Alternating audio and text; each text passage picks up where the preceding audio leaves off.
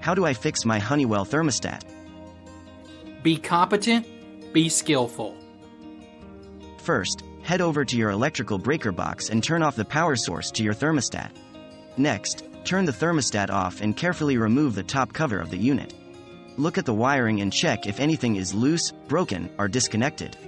Also, check to see if everything is clean.